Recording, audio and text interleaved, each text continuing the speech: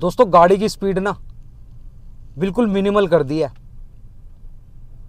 एकदम से ऐसा लगा जैसे हल्के हल्के शीशे खोल रखे हैं ना। झाड़ियों में आवाज़ आई।